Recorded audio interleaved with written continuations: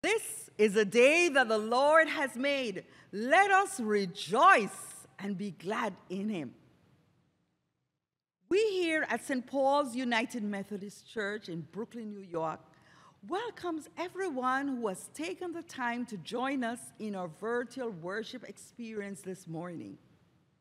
We encourage you to participate in the reading of the scriptures, singing the songs, and praying along with us. For in so doing, we worship our Lord and Savior Jesus Christ together, even though we are apart from each other physically. We, as a body of believers at St. Paul's, are living into God's vision for us a faith based community who not only knows and confess that Scripture is primary, but who know through the lived experience that it's a lamp unto our feet and a light along our earthly pathway that leads to eternal life with God, our Heavenly Father. We trust that this time together with us will inspire you to go out and make disciples for Jesus Christ as you live Christ like lives for all to see. Welcome, Saints, to our third Sunday in Advent. Let us at this time turn our attention to our Advent liturgy as we light the candles on this day, this Sunday of joy. We want everyone to look nice. The decorations of the season, our homes with their lights and tinsel, wreaths and ribbons. We want to lighten the darkness around us, bring beauty to the ugliness uh, that wears us down. We decorate because it is tradition, because it lifts our hearts, because it makes us feel like children again. We deck our halls because company is coming. The prophet Isaiah smiled when he said, God will give you a garland instead of ashes, the oil of gladness instead of mourning, a mantle of praise instead of a faint spirit. No matter how far we feel from the spirit of the season, God promises to decorate us with love and with joy. So we light these candles as a sign of our joy in the beautiful things of this season. Not just the things that glitter and flash, but the deeper things the beauty of the heart and the soul the beauty of love shared in service and hospitality. We light this candle of joy because company is coming. Oh, come, oh, come, Emmanuel.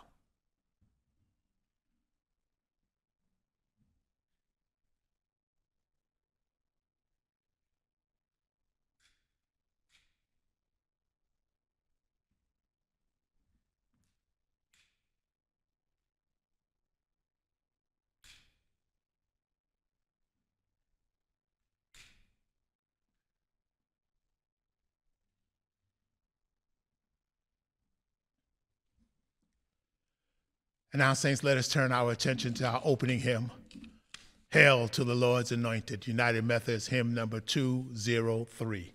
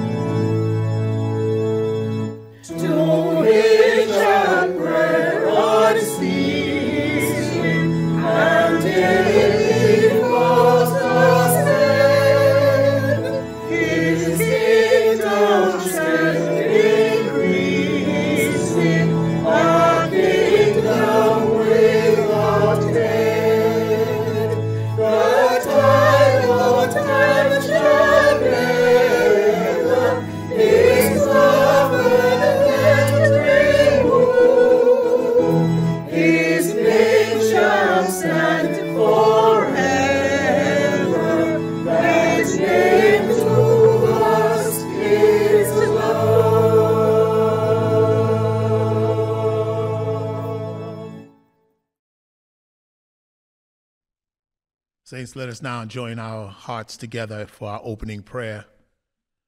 God of love and light, just as John the Baptist came long ago in Judea to witness to your light, we remember that the offering you seek is that we have and how we live should also witness to the light. We admit that there are times when we feel the darkness is just too prevalent, too strong and we realize that we are ignoring the call to witness to the light. May we witness through our compassion, through what we say and what we do. In Christ's name we pray. Amen. Saints, let us now at this time turn our attention to our vision song as it is sung this day.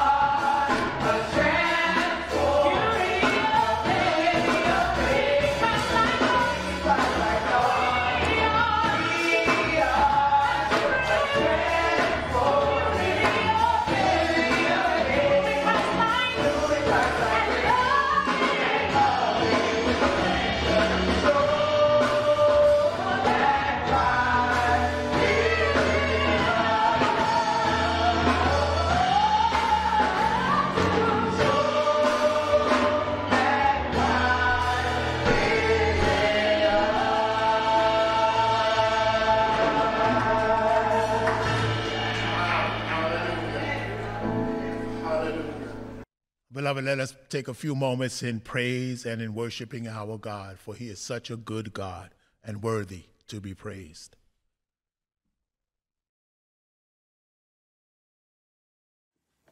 Grace and peace, family.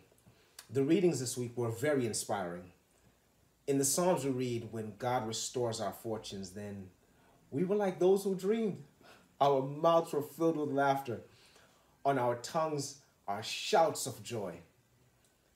In the book of Isaiah, I am reminded that the Spirit of God is upon me to because God has anointed me to bring forth the good news, to set at liberty the captive, and not necessarily those who are physically held captive, but also those who are emotionally captive, held captive, uh, spiritually captive, financially held captive.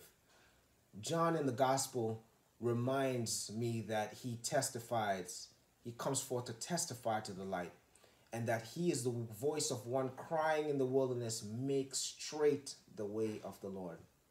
All of this reminds me of the faithfulness of God, the holiness of God, the righteousness of God. And it is with great joy that I sing today of the faithfulness of God. Faithful,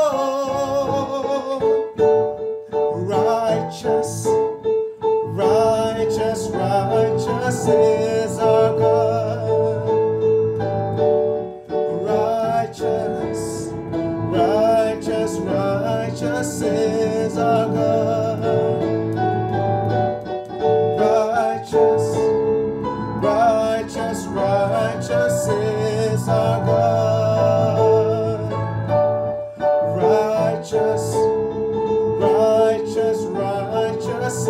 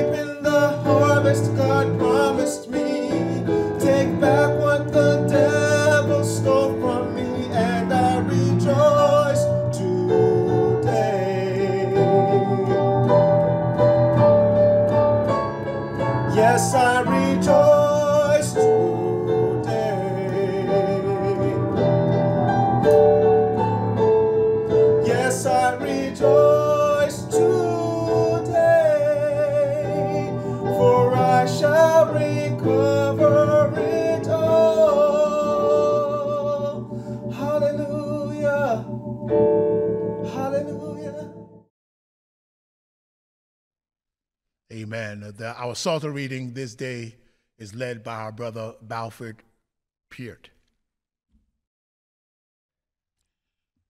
Good morning, saints.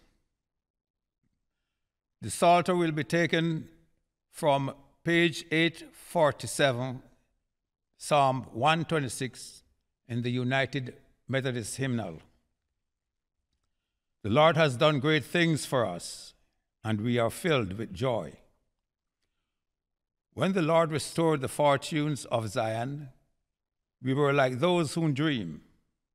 Then our mouth was filled with laughter, and our tongue with shouts of joy. Then they said among the nations, The Lord has done great things for them. The Lord has done great things for us. We are glad. Restore our fortunes, O Lord, like the water courses in the Negeb. May those who sow in tears weep with shouts of joy. Those who go forth weeping, bearing the seeds of sowing, shall come home with shouts of joy, carrying their sheaves. The word of the Lord.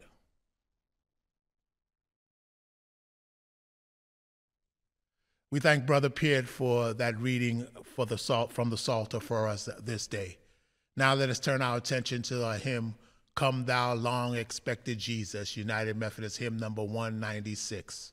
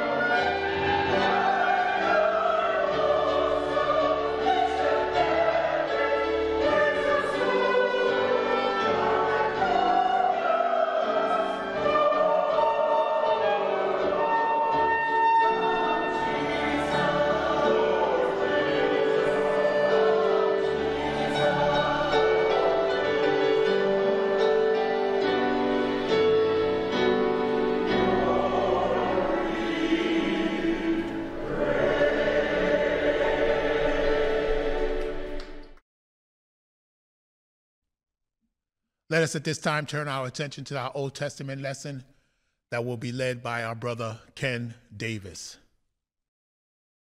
Good morning, church.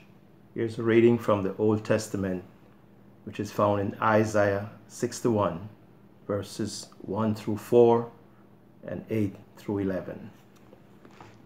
The Spirit of the Lord is upon me, because the Lord had anointed me to preach good tidings unto the meek. He had sent me to bind up the brokenhearted, to proclaim liberty to the captive, and the opening of the prison to them that are bound, to proclaim the acceptable year of the Lord, and the day of vengeance of our God, to comfort all that mourns, to appoint unto them that mourn in Zion, to give unto them beauty for ashes, the oil of joy for mourning, the garment of praise for the spirit of heaviness, that they might be called tree of righteousness, the planting of the Lord, that he might be glorified. And they shall build the old wastes, they shall raise up the former desolation, and they shall repair the waste cities, the desolation of many generations. Verses 8 through 11. For I, the Lord, love judgment. I hate robbery for burnt offering, and I will direct their work in truth, and I will make an everlasting covenant with them. And their seed shall be known amongst the Gentiles, and their offspring amongst the people. All that see them shall acknowledge them, and they are the seed which the Lord hath blessed. I will greatly rejoice in the Lord. My soul shall be joyful in my God, for he hath clothed me with the garment of salvation. He had covered me with the robe of righteousness, as a bridegroom decked himself with ornaments, and as a bride ordaineth her with her jewels. For as the earth bringeth forth her bud, and as the garden causeth the things that are sown in it to spring forth, so the Lord God will cause righteousness, praise to spring forth before all the nation. The word of God to the people.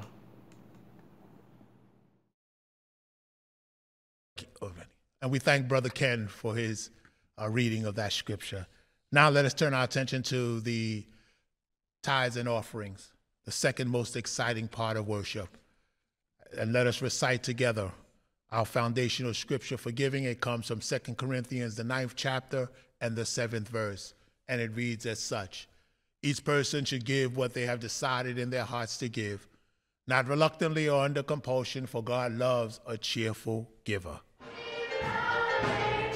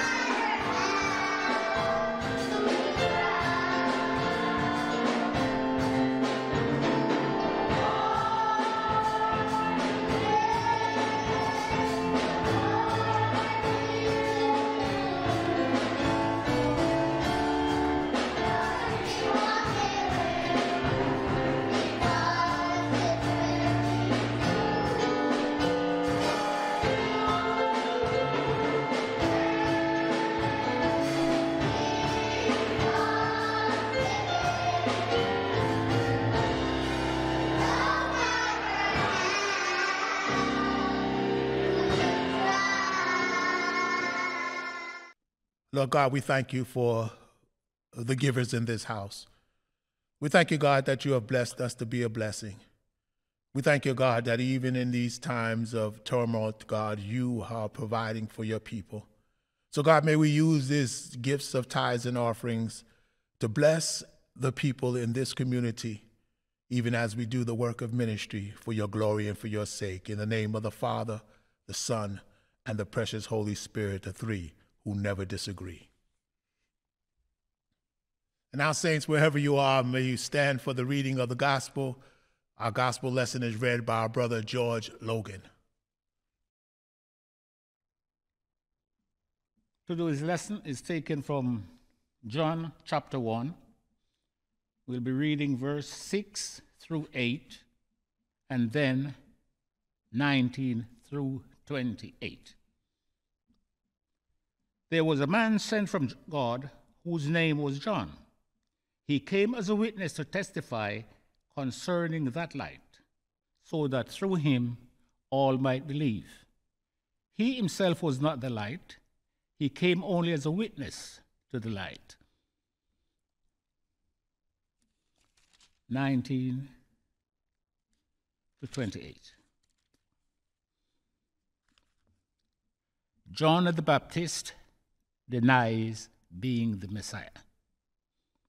Now, this was John's testimony when the Jewish leaders in Jerusalem sent priests and Levites to ask him who he was. He did not fail to confess, but confessed freely, I am not the Messiah. They asked him, Then who are you? Are you Elijah? He said, I am not. He answered, No. Finally, they said, Who are you? Give us an answer to take back to those who sent us. What do you say about yourself? John replied, in the words of Isaiah The prophet, I am the voice of one calling in the wilderness. Make straight the way for the Lord. Now the Pharisees who has been sent question him. Why then do you baptize if you are not the Messiah, not Elijah, nor the prophet? I baptize with water, John replied. But among you stands one you do not know. He is the one who comes after me, the straps of whose sandals I am not worthy to untie. This all happened at Bethany, on the other side of the Jordan, where John was baptizing. This is the end of the reading. May the Lord add his blessing. And we thank Brother Logan for his reading of the gospel lesson. Let us turn our attention to our hymn of preparation Tell Out, My Soul.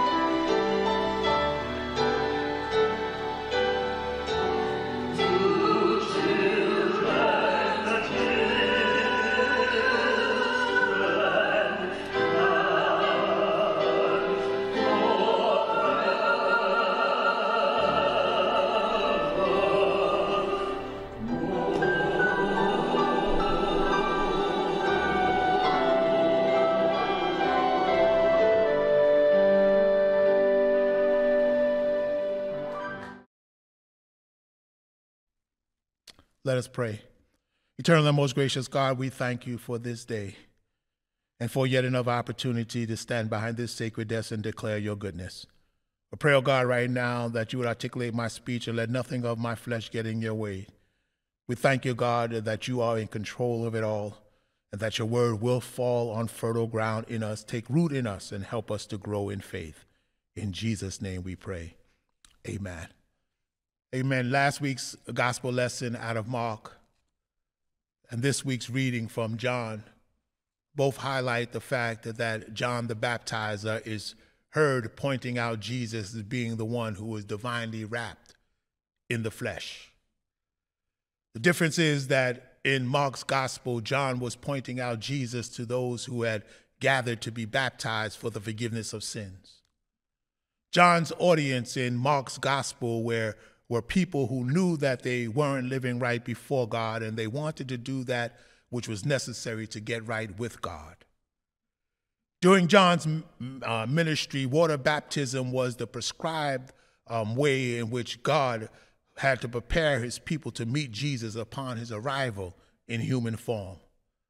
But after Jesus' arrival and his death, burial, resurrection, confession of one's personal sin became the prescribed manner that made it possible for us to enter into a personal relationship with Jesus Christ. And water baptism became an outward sign uh, for us uh, uh, uh of being dead to sin's control and alive through the spiritual connection with God through Jesus Christ.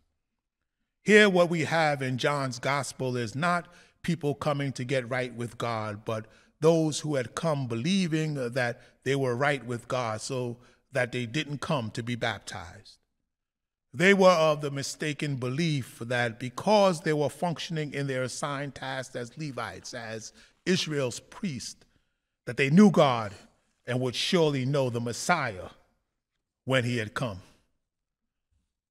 But it turns out that uh, they were priests who were unable to recognize God in the person of Jesus Christ, who was in the midst of them. John the Baptizer knew who he was, he knew who he was not, and John knew his role in the kingdom of God. So, on this third week in Advent, the scripture has us eavesdropping in on an interrogation that is taking place where John and his activities uh, with and among the people who are intent on not getting right with God, but in bringing to those in Jerusalem information about John the Baptizer and his ministry. You see, John was an enigma. He was, he was paradoxical because he didn't fit into the mold established by the mother church in Jerusalem. Tradition dictated that if you are going about the business of doing God's work, then you must do so in a manner established by those who had come before you. What those who were indignant about John and the manner in which God was using him was that there was no established order because John was the first to call people to repentance by way of water baptism. There was no established mo, uh, model for John to follow because he was born. He was born to fulfill the role. This is why John didn't look like anyone else, and he most definitely didn't act like any of Jerusalem's priest. And because John was who God created him to be, there was a problem. John's appearance and the way in which God called him to interact with others in the faith and those who wanted to grow in their faith through water baptism could only mean that something must be wrong with John and someone had to get to the bottom of it. So they sent this delegation this small group of clergy to Bethany, to uh, Bethany. Bethany, that small town situated on the other side of the Jordan, to try to figure out John by asking him some pointed questions. But what was so ironic was uh, that the delegation sent to get answers had to travel over the same body of water that John used to baptize sinners and backsliders unto repentance.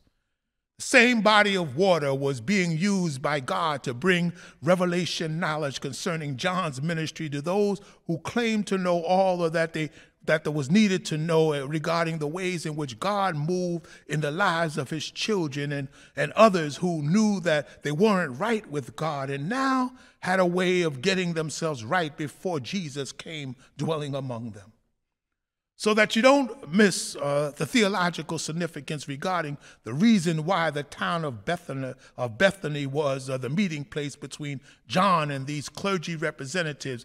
Bethany means house of welcome or house of figs. John's baptism took place in the Jordan, which means that as the uh, repentant sinners came out of the water, they stepped into the welcoming arms of God. But since Bethany was also the house of figs, we know that in the book of Genesis, Adam and Eve used leaves of the fig tree to try to cover their sin. So the clergy de- delegation never entered into the water of the Jordan, but crossed over it, which means that their, their shame would not be adequately covered during their, inter- eh, their interrogation of John either. There stood John and his followers, both having been welcomed and covered by God as those who were uh, who are now living and operating within the plan of God. And there stood clergy, recognized by God and John as being unprepared to meet their Messiah. This is why when the delegation arrived and the interrogation began, the Bible says that he did not fail to confess, but confessed freely, I am not the Christ. And since the Jewish community expected a variety of persons to be associated with the coming of Christ, John had to keep on confessing that he was not any of those who they were expecting John to confess to being. So John is being questioned by a group uh, that, by their titles, one would have thought knew a thing or two about Christ, about Elijah, and about the prophet, but their inquisition of John suggests otherwise. The clergy, with all of their knowledge, still were not properly prepared to recognize Christ, Elijah, or the prophets, because if they were properly prepared, they would have not been a need to interrogate John.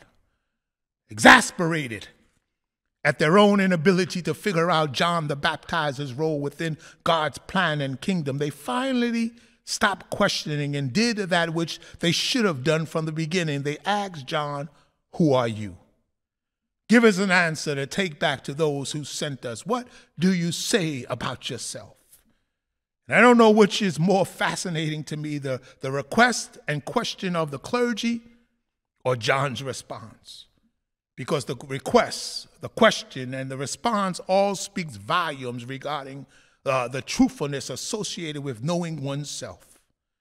These men of the cloth were not even a tad bit interesting in finding out about the movement of God through the life and ministry of John the Baptizer. All they wanted to do was to get what they considered an acceptable answer to bring back to those who sent them so that they would not uh, experience any change in their own status.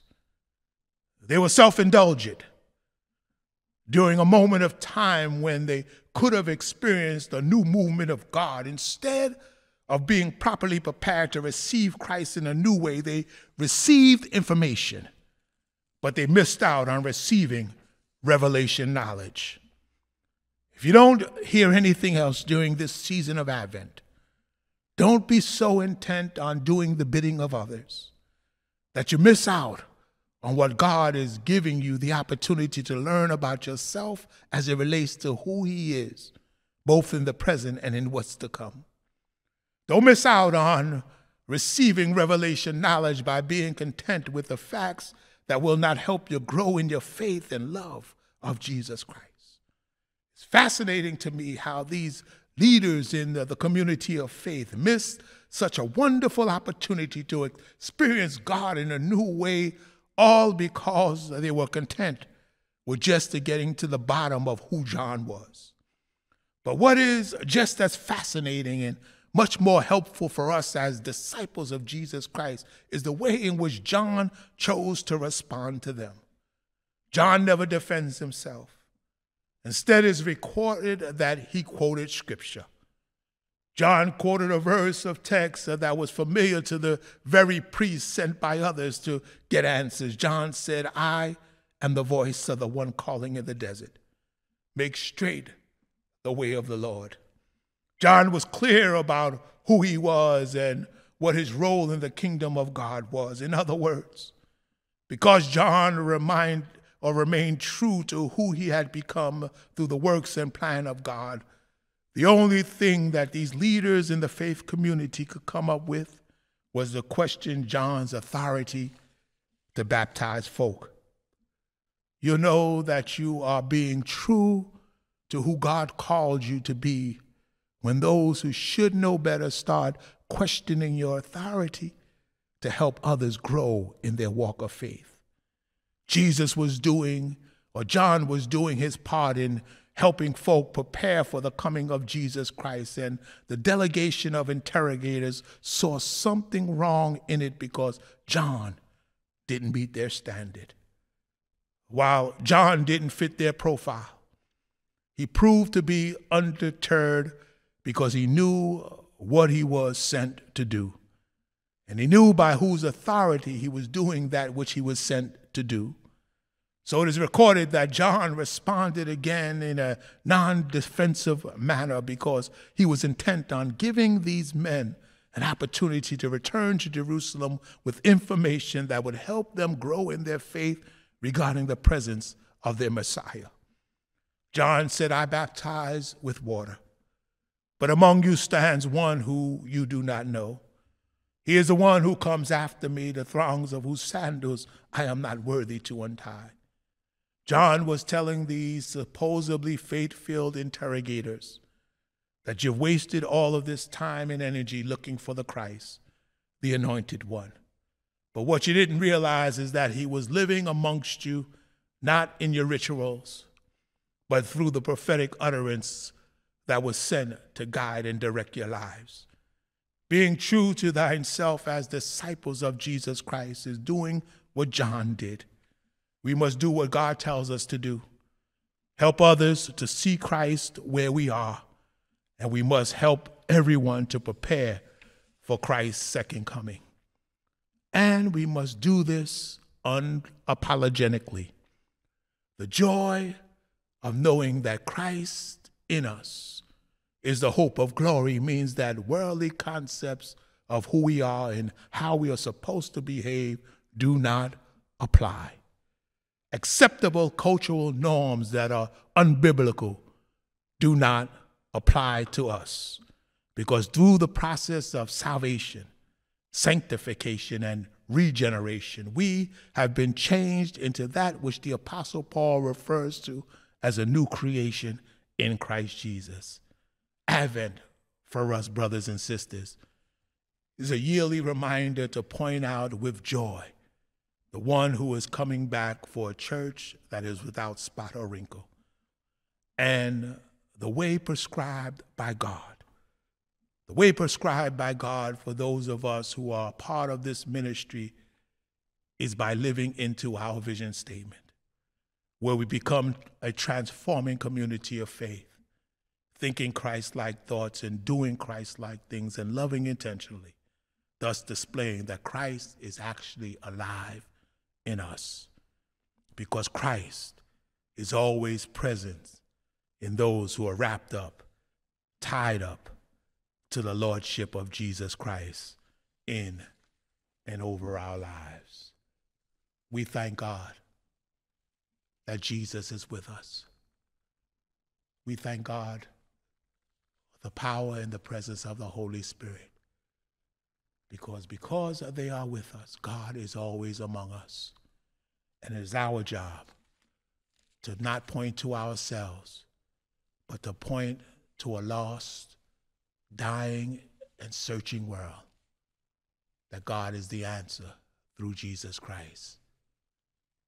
In the name of the Father, the name of the Son, and the name of the Holy Spirit. Father, we thank you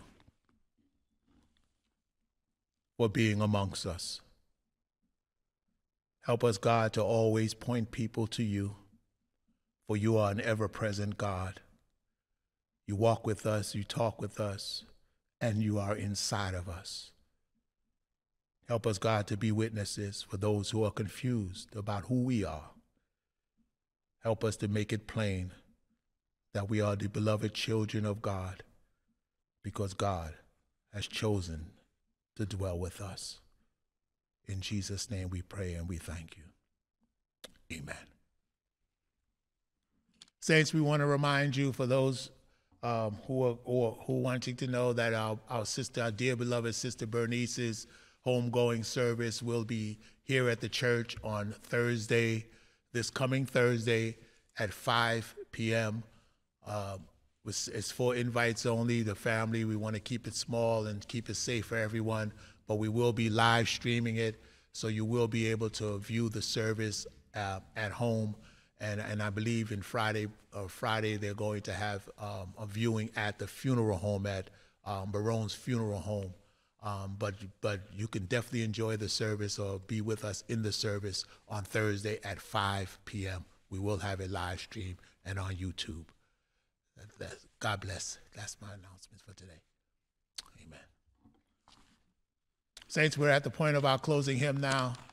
Our closing hymn is I Want to Walk as a Child of the Light. United Methodist hymn number 206.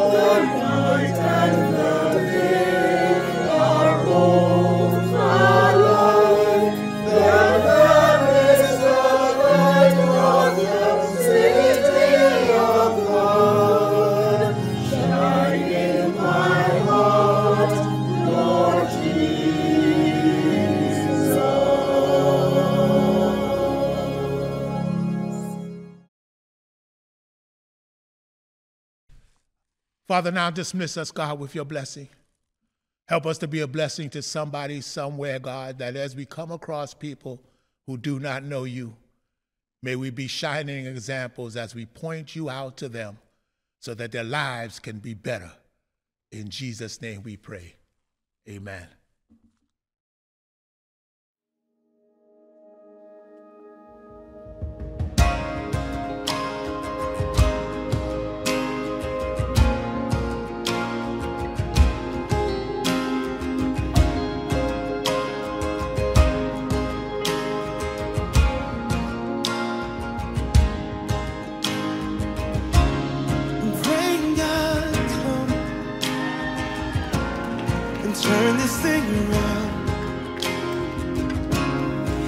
God turn it around. God turn it around. God turn it around. I'm calling on the name that changes everything. God turn it around. God turn it around.